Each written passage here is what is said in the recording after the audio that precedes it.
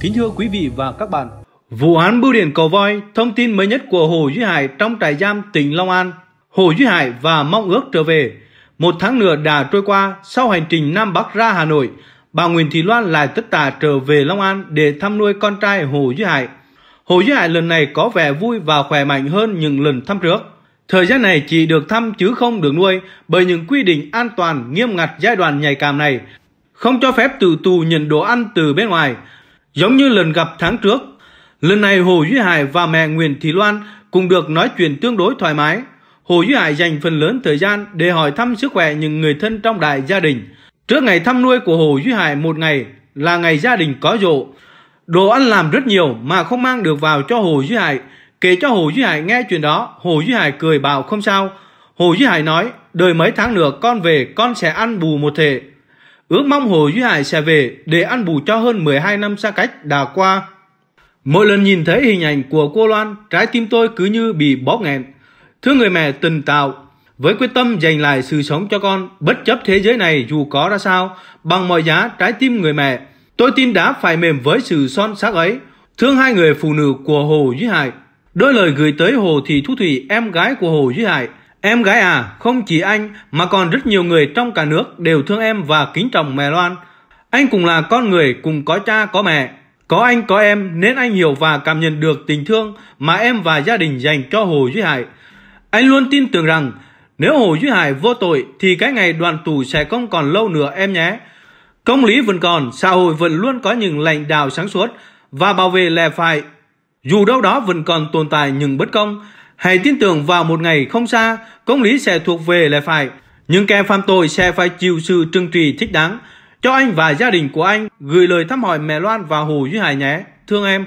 Bí ẩn trong khu phạm nhân tử hình Bị cáo đã bị tuyên án tử hình với họ từ đêm nửa về sáng, đó là khung giờ của quỷ, và thời gian khác trong ngày gần như là địa ngục đọa đầy của những người từ tù, bàn tù, đến luôn cả giám thị.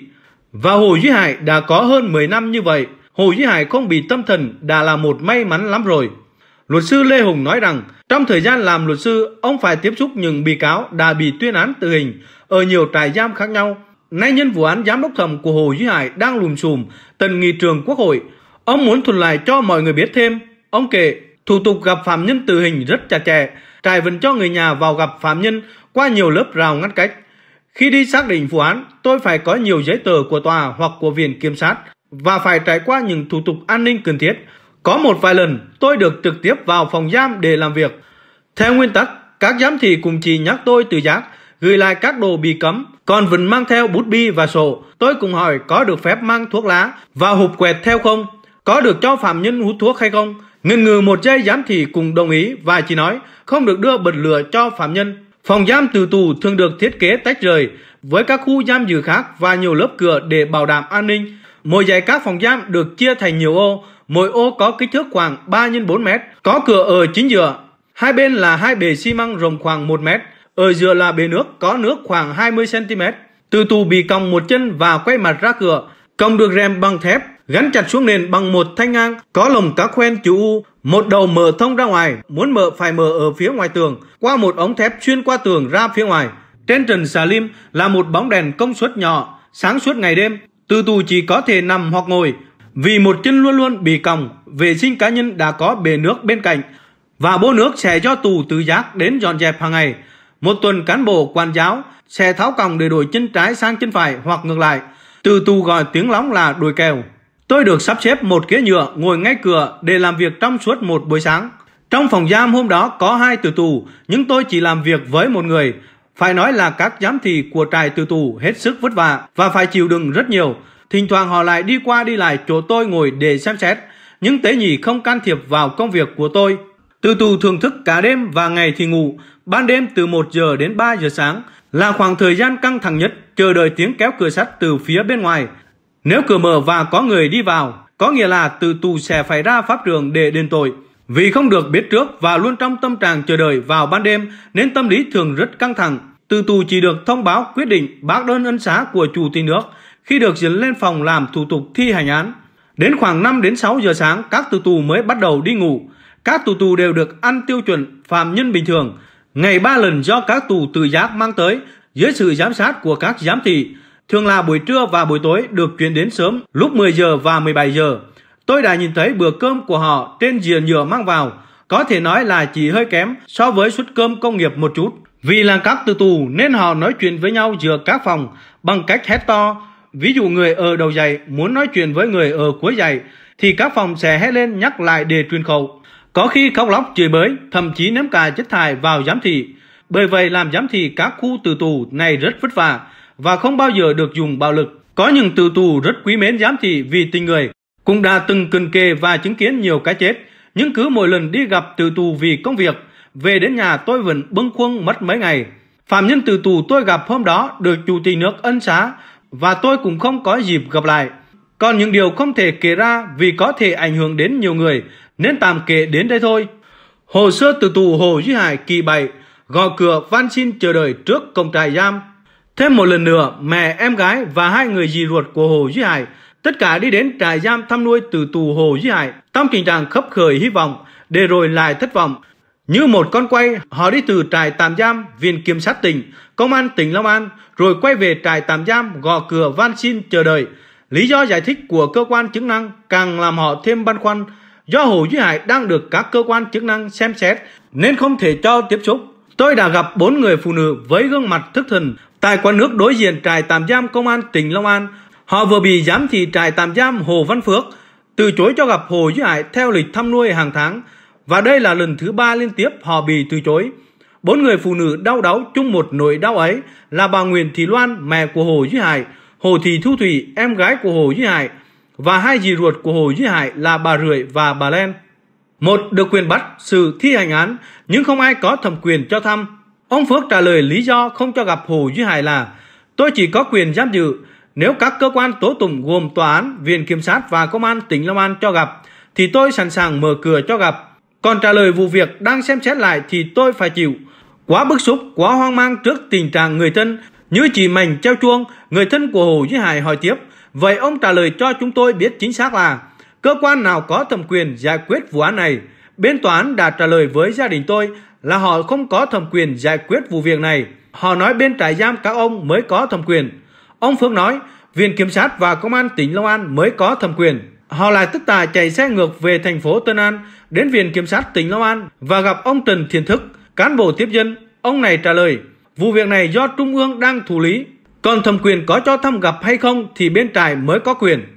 Như vậy quả bóng thăm nuôi đã được đáp trả lại cho trại tạm giam. Vẫn nuôi hy vọng họ lại tiếp tục đến công an tỉnh Long An kêu xin và gặp cán bộ tiếp dân là ông Trần Văn Khuyển. Ông bảo gia đình chờ ông xin ý kiến cấp trên. Một lúc sau ông trả lời, thời điểm này Trung ương đang kiểm tra, không thể được gặp, chỉ được gửi quà. Khi nào đoàn kiểm tra Trung ương kết thúc, cơ quan có thẩm quyền mới cho gặp.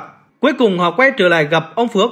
Ông Phước giải thích khác hơn rằng, phải gặp người có thẩm quyền, thủ trưởng cơ quan, bên tòa án thì gặp ông Hùng, bên viện kiểm sát thì gặp ông Sang và ông Nghiệp, bên công an tỉnh thì gặp ông Châu thì mới trả lời được. Cơ quan liên ngành của tỉnh Long An và các ngành liên quan của Bộ và Ban Nội chính Trung ương đã làm việc ở đây rồi. Thống nhất trong thời gian xem xét lại vụ việc này thì chưa đồng ý cho gặp. Khi nào có kết luận của Liên ngành Trung ương và Ban Nội chính Trung ương thì mới cho gặp. Gia đình và ba luật sư Trần Văn Tạo, Trần Hồng Phong và Nguyễn Văn Đạt đã có đơn gửi tới cơ quan tố tụng Trung ương và tỉnh Long An, giám thị trại tạm giam tỉnh Long An để xin gặp Hồ Duy Hải. Tránh án tòa án tỉnh Long An đã có văn bản trả lời là việc này không thuộc thẩm quyền của tòa án tỉnh. Hai, vì sao đang được xem xét lại vụ án thì không được thăm. Ngay sau đó, các phóng viên nhiều tờ báo đã vào trại tạm giam, đăng ký gặp ban giám thị cùng đều bị từ chối. Đã đi công tác không có ai ở nhà. Đăng ký xin gặp trực ban thì được trả lời là đang bận công việc sắp xếp cho người thăm nuôi. Về việc của Hồ Duy Hải không được gặp người thân, chúng tôi có hai điều băn khoăn về cách hành xử của các cơ quan tố tụng. Thứ nhất, thẩm quyền cho phép thăm nuôi Hồ Duy Hải thuộc về ai? Vì sao ba cơ quan tố tụng và trại tạm giam cứ đổi cho nhau để người thân Hồ Duy Hải phải chạy như đèn cù, để rồi thất vọng, thắc mắc lại càng thêm thắc mắc, lo lắng lại càng thêm lo lắng. Thứ hai, cách giải thích cho rằng trong khi các cơ quan trung ương đang xem xét lại vụ án của Hồ Duy Hải thì không đồng ý cho gặp, càng làm công luận thêm băn khoăn hơn. Theo luật hiện hành thì bị can, bị cáo, bị án dù đang bị án tử hình đều được thăm nuôi mỗi tháng một lần. Bộ Công an đang trình Ủy ban Thường vụ của Quốc hội xem xét lại ý kiến về dự thảo luật trại tạm giam tạm giữ theo tinh thần của dự luật này. Và nội dung mới nhất, quan trọng nhất nhằm đảm bảo hạn chế oan sai và thể hiện sự nhân đạo là người bị tạm giam tạm giữ cũng được người thân thăm nuôi tối thiểu mỗi tháng một lần như là một quyền đương nhiên. Luật sư được quyền tiếp xúc với người bị tạm giam tạm giữ. Với Hồ Duy Hải, một bị án đang bị nghi là bị oan thuộc vào đối tượng nào, thuộc diện gì mà phải chịu sự quản lý nghiệt ngã đến như vậy. Thiết nghị các cơ quan tiến hành tố tụng trung ương xem xét lại vụ án là chỉ xem xét trên hồ sơ quá trình tố tụng, chứ không phải là giai đoạn điều tra theo thủ tục tố tụng quay lại giai đoạn ban đầu. Việc cho Hồ Duy Hải gặp thân nhân dưới sự giám sát nghiêm ngặt của cán bộ trại giam theo quy chế thăm nuôi của tử tù, chân bị cùm, có ít nhất 3 cán bộ giám sát, liệu có ảnh hưởng gì tiêu cực đến việc xem xét của các cơ quan? Hơn thế nữa, đâu riêng trường hợp của Hồ Duy Hải được xem xét, như trường hợp của Nguyễn Văn Trường đang được xem xét, đều được gặp người thân, thậm chí Nguyễn Văn Trường còn gửi về cho gia đình tấm áo theo bằng thơ kêu oan nửa kia kìa. Ai cũng có người thân, ai cũng có một trái tim để đau xót cho số phận tính mình người thân của mình, nhất là trái tim của người mẹ. Pháp luật phải nghiêm minh, công bằng, nhưng cũng phải thể hiện lương tri nhân đạo. Chúng tôi khẩn thiết đề nghị các cơ quan có trách nhiệm lưu tâm đến điều đau đớn bức xúc này. Luật sư Trần Hồng Phong, việc cơ quan trung ương xem xét không thể là lý do không được gặp người thân.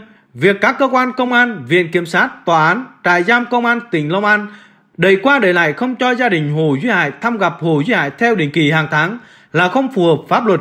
Theo quy định tại Điều 57, Luật thi hành án hình sự, chế độ quản lý giam giữ, ăn ở mặc sinh hoạt, gửi và nhận thư, nhận đồ vật, tiền mặt, gặp thân nhân, chăm sóc y tế đối với người bị kết án tử hình trong thời gian chờ thi hành án, thực hiện theo quy định của pháp luật về tạm giam, theo khoản 2 điều 22, quy chế tạm giữ tạm giam, ban hành kèm theo Nghị định số 89 năm 1998 nghị định chính phủ của chính phủ thì người bị tạm giữ tạm giam có thể được gặp thân nhân, luật sư hoặc người bào chữa khác và do cơ quan đang thủ lý vụ án quyết định.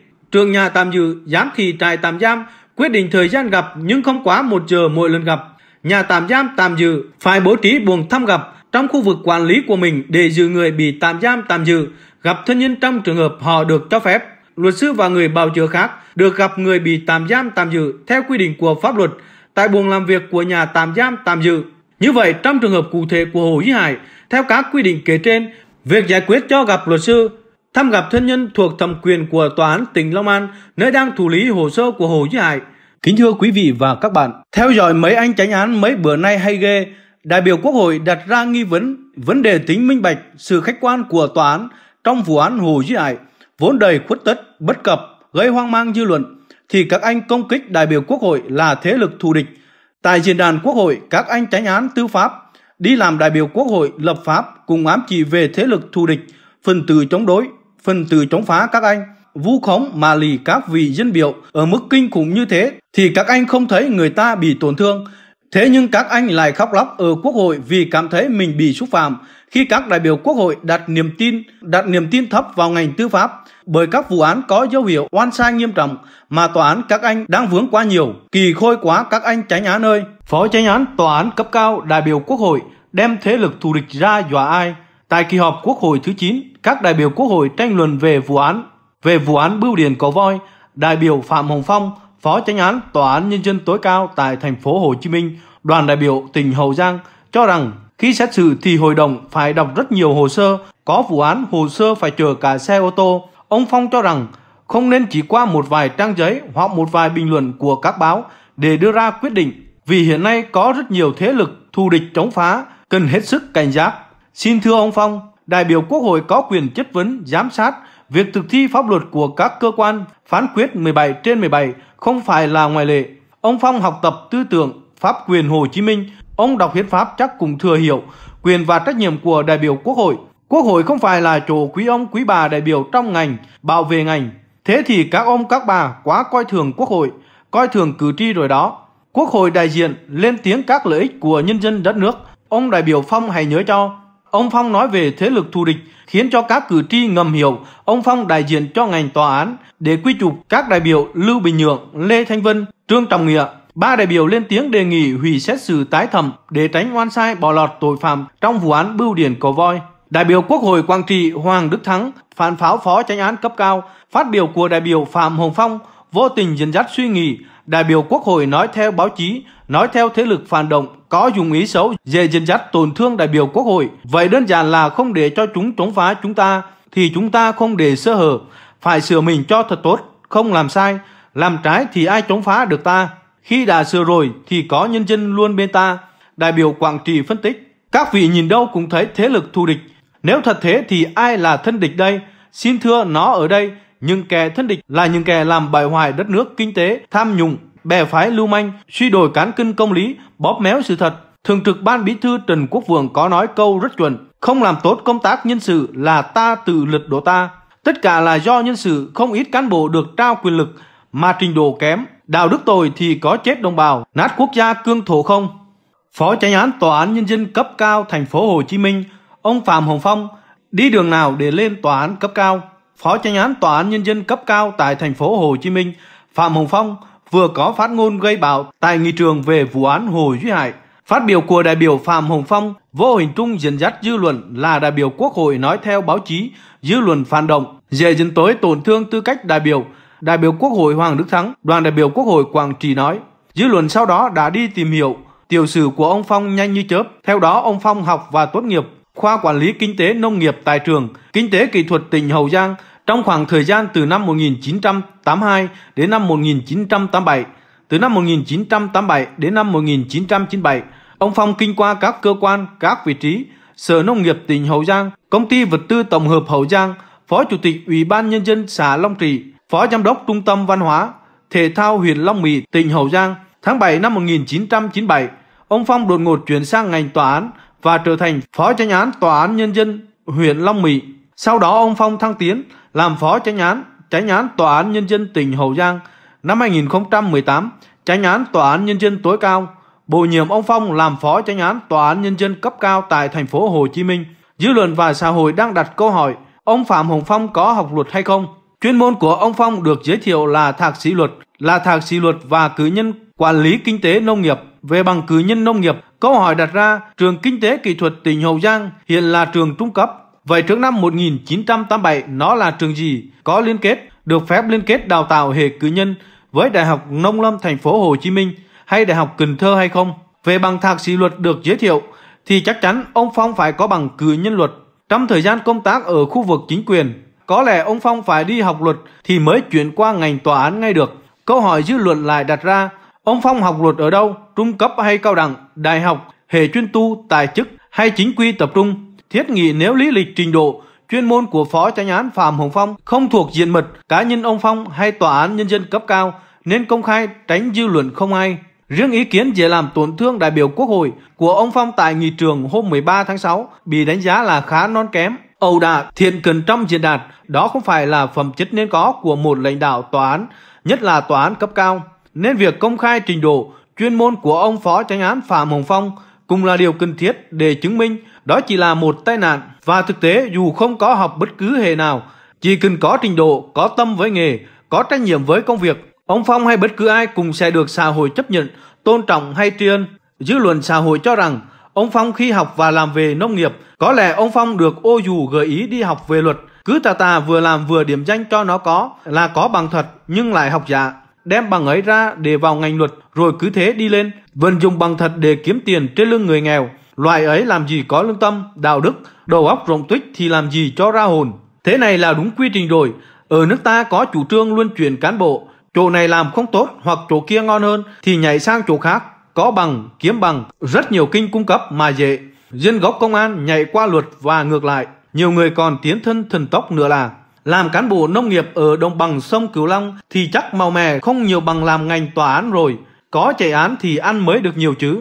Vụ án bưu điện cầu voi theo ý kiến của một số khán giả chúng tôi đã tìm hiểu tên của 17 vị thẩm phán sau đây tôi xin nêu lên tên của 17 vị thẩm phán đã phán quyết 17 trên 17 để thi hành án tử hình Hồ Duy Hải, mặc dù không có lấy một bằng chứng, vật chứng nào để kết tội Hồ Duy Hải cả. Luật pháp Việt Nam giết người bằng cách biểu quyết. Danh sách 17 vị ngồi ghế hội đồng thẩm phán, ngồi ghế hội đồng giám đốc thẩm biểu quyết 17 trên 17. Một tránh án tòa án nhân dân tối cao Nguyễn Hòa Bình, các phó tránh án tòa án nhân dân tối cao 1. Bùi Ngọc Hòa, Phó Chánh án Thường trực 2. Tống Anh Hào 3. Nguyễn Văn Tiến 4. Nguyễn Văn Thân 5. Nguyễn Thúy Hiền 6. Dương Văn Thăng Chánh án Tòa án Quân sự Trung ương 7. Lê Hồng Quang 8. Nguyễn Trí Tuệ Các vị thẩm phán Tòa án Nhân dân tối cao 1. Lương Ngọc Trâm 2. Lê Văn Minh 3. Nguyễn Văn Du 4. Chu Xuân Minh 5. Đặng Xuân Đào 6. Trần Văn Cò 7. Đào Thị Xuân Lan 8. Hoàng Thị Hoàng Anh Vụ án bưu điện cầu voi chuyện chưa kể, tù nhân lương tâm Trần Thị Nga, người có công to lớn đối với Hồ Duy Hải và gia đình. Khoảng đầu giờ chiều ngày 28 tháng 11 năm 2014 Trần Thị Nga gọi điện cho tôi. Anh ơi 4 giờ chiều nay anh có bệnh không? Việc gì đấy hả em? Chiều nay có mẹ và dì của từ tù Hồ Duy Hải đến tòa án tối cao kêu oan cho con. Vụ này quan trọng lắm anh ạ. Nếu mình không ra tay giúp đỡ, thì đến ngày mùng 5 tháng 12 năm 2014 họ sẽ thi hành án tử hình. Vậy anh cố gắng ra tác nghiệp làm truyền thông để đưa lên công chúng cứu thằng bé nhé. Ok em, đúng 4 giờ chiều anh sẽ có mặt. Như đã hẹn khi chúng tôi đến trước cổng tòa án, có thêm cả gió lang thang tức Trình Anh Tuấn nữa. Tất cả chúng tôi lên kế hoạch để tác nghiệp. Đang bàn tới bàn lui, tôi bảo với Trần Thị Nga, em ơi chúng ta chiến ngay, em ơi chúng ta chiến ngay bây giờ đi. Nếu đứng đây lâu nhờ bọn mật vụ nó phát hiện ra anh em mình thì rất khó thực hiện. Trần Thị Nga bảo tôi, em và anh ghi hình tại hiện trường để cho mẹ và dì của Hồ Duy Hải cầm băng rôn kêu an. Tuấn đứng ở bên kia đường cạnh dưới và trong xe.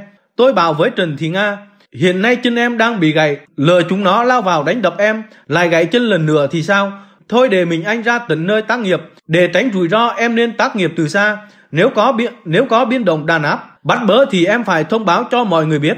Tần Thị Nga nghe theo lời đề nghị của tôi, sang bên kia đường và quay máy ảnh về phía tôi. Lúc này mẹ và dì của Hồ Duy Hải tay cầm băng rôn kêu la rất thảm thiết về cái chết oan của con trai đang cần kề. Bọn an ninh lao vào giật băng rôn của các chị, đồng thời bọn chúng cùng điều động tên dư luận viên Đồ Anh Minh ra mặt chửi bới và tấn công chúng tôi. Cùng lúc đó bọn chúng điều động thêm quân để gây áp lực với chúng tôi. Lúc này tình trạng khá căng thẳng để bảo toàn lực lượng chúng tôi đã tạm dừng.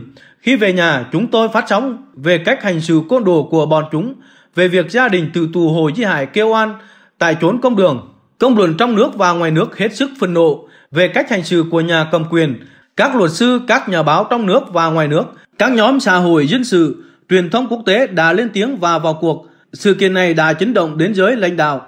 Đến ngày 4 tháng 12, tức là chỉ sau gần một tuần phát sóng, Chủ tịch nước lúc đó là ông Trương Tuấn Sang đã phải ký dừng thi hành bản án, tức là dừng trước một ngày thi hành án. Khi được tin, chị Loan báo tin vui cho chúng tôi. Trần Thị Nga và tôi mừng quá. Hai anh em rủ nhau ra quán bia từ thưởng cho nhau, mỗi người một cốc bia kèm theo một đĩa lạc. Ngay sau khi dừng án, tại các diễn đàn quốc hội, một số đại biểu quốc hội đã chất vấn tên Nguyễn Hòa Bình, lúc đó là Viện trưởng Viện Kiểm sát Nhân dân tối cao, về vụ án Hồ Duy Hải. Hắn đã trả lời như đinh đóng cột rằng, tuy trong quá trình điều tra có một số sai sót, nhưng bản chất vụ án không thay đổi. Trước tình hình nêu trên, chị Loan đã không bỏ cuộc. Mặc dù gia sản đã khánh kiệt, thân thể đã héo mòn, chị vẫn tiếp tục kiên trì, bền bỉ kêu oan cho con. Có lẽ trời Phật đã hiểu được nỗi oan uất, đau khổ, cạn kiệt sức lực của chị nên đã ra tay cứu con, nên đã ra tay cứu con chị được như ngày hôm nay. Thành quả có được như ngày hôm nay đã có công sức không nhỏ của chị Trần Thị Nga. Chỉ trước đó vài tháng, chị Trần Thị Nga đã bị bọn an ninh giả danh côn đồ, dùng gậy sắt đánh gãy chân và rạn xương tay. Sau khi mổ chân xong, chị Nga đã không quản ngại nguy hiểm đến bản thân, không sau đó tính toán, chị lại chống nàng, lê lết từ miền Nam lên Hà Nội để cứu Hồ Duy Hải.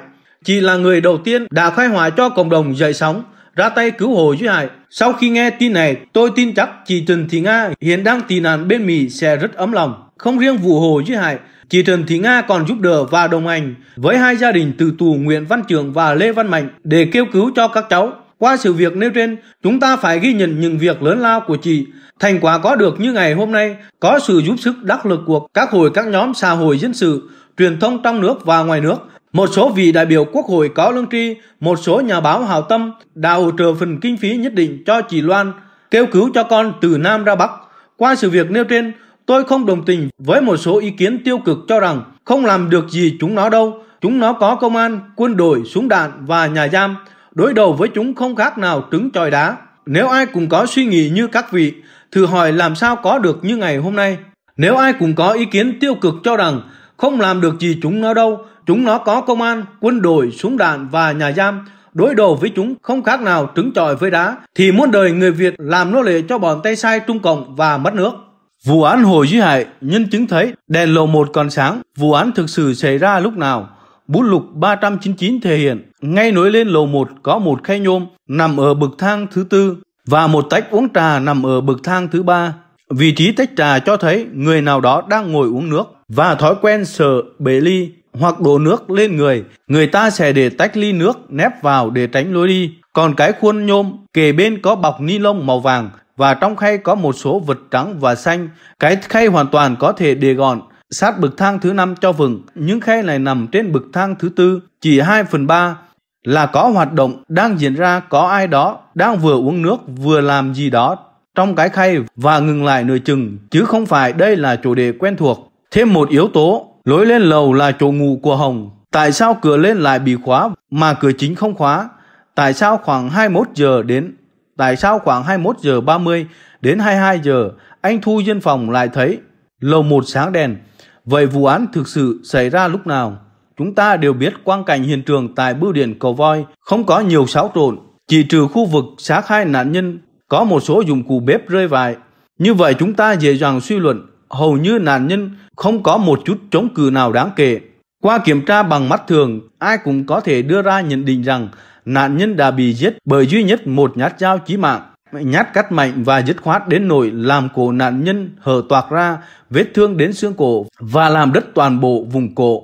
Vì sao nạn nhân không hề mảy may có sự kháng cự nào? Qua khám nghiệm tử thi, Nguyễn Thị Ánh Hồng bị dập da đầu vùng đỉnh 0,6 x 0,5 cm, tù thái dương đỉnh trái 10 x 0,8 cm, đỉnh phải 4,5 x 0,3 cm, tụ máu vùng trán 6 x 4 cm, còn chị Nguyễn Thị Thu Vân thì đầu tụ máu vùng đỉnh 0,6 x 0,3 cm, không bị rách da đầu. Vết thương này cho chúng ta suy luận là cả hai nạn nhân bị hung thủ dùng vật cứng có bề mặt rộng trơn phẳng đập vào đầu gây bất tỉnh. Sau đó hắn thoải mái thực hiện hành vi cắt cổ nạn nhân. Nhưng lập luận như trên vẫn chưa phải là duy nhất, bởi vì có một khả năng nữa là nạn nhân có thể bị làm hôn mê bằng thuốc, có thể là thuốc ngủ. Sau đó hung thủ tùy thích làm những gì cũng được. Theo tôi tìm hiểu, khi máu nạn nhân thoát ra ngoài không khí bình thường, thì thời gian máu đông lại trong khoảng 8 đến 12 phút. Những trường hợp rối loạn tố chất trong máu thì thời gian đông sẽ kéo dài lên tới trên 15 phút. Theo kết quả của cơ quan điều tra, hai nạn nhân bị giết từ khoảng 20 giờ đến 20 giờ 30 phút ngày 13 tháng 1 năm 2008 khi bắt đầu tiến hành khám nghiệm là 8 giờ 10 phút ngày 14 tháng 1 năm 2008, thời gian là 12 tiếng mà máu hai nạn nhân vẫn chưa khô, thì trong trường hợp này không thể loại trừ giả thiết. Trong máu nạn nhân có độc tố, cơ quan điều tra chỉ có thể bác bỏ được suy luận này khi có kết luận khám nghiệm về độc tố, nhưng hình như họ đã không thực hiện việc này. Nếu xét nghiệm phát hiện có độc trong cơ thể hai nạn nhân và khoanh vùng, thì việc khoanh vùng hung thủ giết hai nạn nhân sẽ đơn giản hơn nhiều. Thôi thì từ hiện thực đã được ghi nhận chúng ta mô phỏng về quá trình hung thủ sát hại hai nạn nhân từ tư thế nằm của chị Hồng và chị Vân, quần áo của hai chị mặc khi bị giết, kết hợp với hình ảnh về vết máu trên người, quần áo dưới lưng quần cổ của chị Hồng có màu đen hơn vùng máu trên người và khu vực chị Vân nằm cho thấy chị Hồng bị sát hại trước chị Vân một khoảng thời gian đáng kể. Bọn chúng tấn công chị Hồng như thế nào? Từ vết thương trên vùng đầu, cổ nạn nhân và những dụng cụ rơi vải ở khu vực bên phải của chị Hồng có thể hình dung lại diễn biến như sau. Khi chị Hồng đứng quay mặt vào bàn bếp, bất ngờ hung thủ chắc chắn là cao hơn nạn nhân, dùng tay trái cầm vật cứng có mặt phẳng rộng và trơn nhẵn, khả năng lớn nhất là cái thớt, đánh một cái như trời giáng từ phía sau vào đỉnh đầu, gây dập da đầu vùng đỉnh 0,6 x 0,5 cm, làm nạn nhân té sấp vào khu bàn bếp, làm nhiều đồ dùng trên bàn rơi xuống, Tiếp theo đó, hắn giáng cho nạn nhân một cái khủng khiếp nửa vào thái dương đỉnh trái, gây tủ máu thái dương trái 10 x 0,8 cm, làm chị Hồng ngả ngửa sang bên phải của cái bàn. Chứng minh cho cú ngả này là nhiều dụng cụ trên đó rơi xuống, trong đó quan trọng nhất là bếp dầu và các thái dương ở cạnh khóe mắt trái gây rách da 1,5 x 0,5 cm, rách da cạnh lông mày trái 2,5 x 0,5 cm và vết thương không rõ hình dạng ở vùng dưới cằm trái nạn nhân và nhiều vết thương không rõ hình dạng ở vùng dưới cằm trái nạn nhân. Kế đến hung thủ dùng con dao sắc nhọn tôi cho là loại dao thái và ngồi lên người để cắt cổ chị Hồng nhưng chị Hồng chưa bất tỉnh, có hành động kháng cự kêu lên. Nhân chứng khai có nghe tiếng kêu la nhưng không rõ ràng và có lẽ chỉ có gượng bật dậy nên con dao trên tay hắn gây ra hai vết thương vùng lông mày trái rách sắc nhọn 0,3 x 0,1 cm và vùng cằm dưới vết rách da sắc gọn 2,5 x 0,1 cm. Lúc này hung thủ lập tức dùng tay bịt chặt miệng nạn nhân có vết thương làm dập môi và cầm thớt bằng tay trái tiếp tục đánh vào vùng trái và vùng đỉnh phải của chị Hồng. Do tư thế đánh không thuận lợi, lực đánh nhẹ hơn nên chỉ gây tù máu ở vùng đỉnh phải 4,5 x 0,3, tù máu vùng trán 6 x 4 cm nhằm đảm bảo nạn nhân không thể kêu la. Tay phải hắn vẫn bịt miệng và sau khi dùng sau cùng hắn cầm dao bằng tay trái cắt cổ nạn nhân. Vì vậy vết thương trên cổ nạn nhân có hướng từ trái sang phải, tính theo cơ thể nạn nhân. Từ giải thích này chúng ta suy đoán hung thủ thuần tay trái. Hung thủ biết rất rõ chị Vân sẽ về nên hắn ẩn nấp chờ đợi. Qua khám nghiệm hiện trường tại khu vực gần cửa ngăn cách của khu vực kinh doanh và phòng khách có vài sợi tóc rơi. Trên tường gần đấy cũng có vết trầy mới. Như vậy có thể chị Vân bị đánh tại khu vực này. Lý giải như thế nào về hai bịch trái cây còn nguyên vẹn trên bàn và đôi giày nữ để gần đó? Tôi nghĩ khi chị Vân về đến bưu điện, đóng cửa và đi vào bên trong phòng khách để hai bịch trái cây xuống bàn thì phát hiện sự việc có lẽ có kêu la không rõ tiếng. Chị chạy ngược ra phòng khách, liền lúc đó hung thủ cầm vật cứng, mặt phẳng rộng đánh vào đỉnh đầu của chị Vân ngay tại khu vực cửa ngăn cách. Do chạy theo đánh với nên lực đánh không mạnh, chỉ gây tù máu dưới da đầu vùng đỉnh kích thước 0,6 x 0,3 cm. Vì vậy khám nghiệm hiện trường phát hiện nơi này có vài sợi tóc bị đứt rơi xuống. Sau đó hung thủ sóc nách chị Vân kéo về đến nằm trên đùi chị Hồng. Tiếp theo hắn ngồi trên đầu nạn nhân, dùng tay trái lạnh lùng cắt cổ. Do đó vết cắt có hướng từ phải sang. Tại sao tôi không suy luận hắn ngồi trên bụng chị Vân? Đơn giản ở khu vực ấy có máu của chị Hồng đã chảy thành vùng. Nếu ngồi như vậy hắn phải dậm lên vùng máu. Về cái ghế xếp inox có nền màu xanh. Nhìn hình ảnh ta thấy chân trái của chị Vân gác tròn ngang phần giữa ghế, thành ghế nằm trên phần ống quần, chân phải của nạn nhân. Nên tôi nghĩ rằng khi hung thủ sốc ẩm chị Vân đến để xuống khu vực đó thì chân chị Vân va quệt vào ghế nên nó ngả nằm cuốn lên quần nạn nhân như thế và khi hắn bỏ chỉ Vân xuống thì chân trái gác lên trên ghế là điều hiển nhiên. Nếu hắn dùng ghế inox đánh nạn nhân, chắc chắn ghế có chất lượng như thế sẽ bị móp, cong hoặc biến dạng Mọi người cứ thử lấy ghế như vậy, đánh thật mạnh vào đầu, hình nhân sẽ biết ngay. Như vậy cái ghế đã nằm sẵn ở đó. Nếu vậy thì hung thủ đánh chỉ Vân bằng vật gì? Điều này dễ hình dung thôi. Khi hung thủ chờ đợi nạn nhân về đến, để đập đầu nạn nhân thì hắn sẽ lựa chọn vật dễ tấn công và hiệu quả nhất. Dùng ghế thì công kình có thể vướng, như vậy hắn sẽ tiếp tục lựa chọn cái thớt. Về việc nạn nhân Hồng bị kéo áo lên gần cổ giải thích như thế nào, nhìn đi nhìn lại bàn ảnh tử thi tôi phát hiện áo chị Hồng không phải bị vén đùn lên mà là bị cuốn lên. Nếu hung thủ có hành vi sàm sợ thì có lẽ hắn không cuốn lên cẩn thận như thế. Về việc âm đạo của chị Hồng có chất nhầy thì sao? Vấn đề này thì phải hỏi bác sĩ pháp y. Tuy nhiên theo tôi hiểu, khi nạn nhân bị chết ngạt trên cạn thì đàn ông có thể xuất tinh trùng, còn phụ nữ có lẽ cũng có thể xuất chất dịch. Như tôi dự đoán ở phần trên, chị Hồng có thể bị hung thủ bịt miệng rất mạnh. Hành vi này của nạn nhân chắc chắn có ảnh hưởng tình trạng nạn nhân bị ngạt, từ đó tạo hiện tượng như vậy là hợp lý. Để củng cố cho suy luận về việc hung thủ chỉ đạo cố tình tạo hình ảnh là nạn nhân bị hiếp dâm để đánh lạc hướng dư luận, tôi xin viện dẫn thêm một vệt máu trên thớt và dấu chân dính máu, cơm khô trên nệm ghế, từ tư thế nằm của hai nạn nhân và vị trí cái ghế, cái thớt nằm gần đầu chị Hồng. Tôi nghĩ hung thủ đã đứng một chân lên nệm và chân phải đứng trên cái thớt để cuốn áo chị Hồng lên Tư thế này của hắn sẽ hạn chế, giày hắn không dậm lên vùng máu và điều này cũng lý giải hợp lý hơn với hình ảnh cái thớt có dính máu. Theo nguyên tắc vật lý thì máu không thể chạy ngược, không thể chạy lên cái thớt dày 0,4 cm được, chỉ trừ có bộ phận nào đó của cơ thể hung thủ hoặc bàn chân dính máu dậm lên. Còn nếu cái thớt úp xuống vùng máu, sau đó người ta lật lại thì máu phải dính cả mặt thớt chứ không phải là chỉ dính ở một góc như vậy.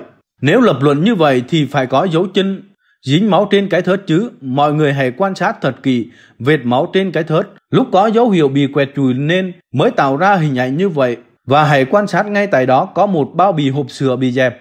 Tôi nghĩ hung thủ dùng vật ấy để quẹt vệt máu trên thớt. Hành động tiếp theo của hung thủ lý giải như thế nào? Hiện trường có một đôi dép xốp để dừa nhà. Dưới đế dép ấy có dính nhiều hạt sàn nhỏ. Hình ảnh ấy cho chúng ta cơ sở để giải thích rằng sau khi hoàn tất công việc tàn độc, hung thủ đã thay giày của hắn bằng đôi dép ấy để vào nhà tắm chùi rửa các vết máu nên khu vực ngoài hiên và lối vào nhà tắm có nhiều giọt máu và có cả bệt máu nhạt màu có lẽ là máu bắn lên cả miệng của hắn nên hắn nhổ nước bọt có màu máu hắn sử dụng nước rất nhiều, nên sáng hôm sau, cơ quan điều tra kiểm tra thì không còn nước tôi nghĩ sau khi giết hai nạn nhân, hắn lưu lại rất lâu hắn không vội vã tẩu thoát Tình tiết, chiếc chìa khóa vẫn còn ghim trên két sắt điện tử và bưu điện có mất tài sản gì, quý giá hay không? Vấn đề này phải hỏi giám đốc bưu điện cầu voi thêm mới rõ. Điều cuối cùng mà chúng ta cần lý giải là hung thủ tẩu thoát theo đường nào. Một tình tiết rất quan trọng là hiện trường có một đôi dép nhựa nữ nằm dưới gầm bàn khách, một đôi dép xốp nằm giữa hành lang và một đôi giày nữ. Chắc chắn hai nạn nhân là nữ ở lại trực trụ sở bưu điện thì phải có hai đôi giày nữ. Như vậy bị mất một đôi giày Hiện tượng này cho phép suy luận có một đối tượng đi cùng hung thủ là nữ.